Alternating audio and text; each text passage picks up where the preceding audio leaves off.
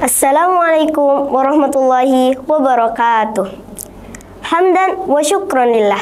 Salatan wa salaman ala rasulillah Amma ba'da Kembali lagi bersama Nadwa Nata dakwah menebar hikmah dengan berdakwah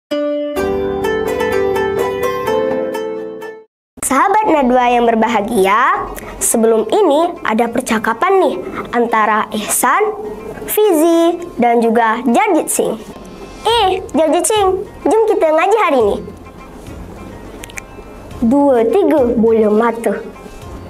Eh, saya tak boleh ngaji lah. Publish, publish. Eh, iya ke? Hmm, minta maaf. Uh, Intan Payung. Oh, Intan Payung. Jomlah kita ngaji.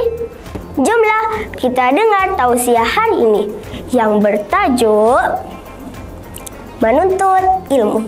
Teman-teman Nadwa sekalian, dengan ilmu, kebahagiaan di dunia akan dapat kita rasakan.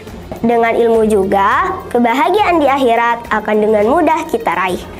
Seperti halnya dalam hadis yang Rasulullah Shallallahu Alaihi Wasallam sampaikan, yang artinya barang siapa yang menginginkan kehidupan dunia, maka ia wajib memiliki ilmu. Semakin bertambahnya ilmu, maka kebahagiaan dunia akan mudah kita rengkuh. Oleh karena itu, menuntut ilmu sangat dianjurkan, apalagi bagi pemuda seperti kita tidak ada alasan untuk bermalas-malasan dalam belajar. Upin Ipin minum teh hangat.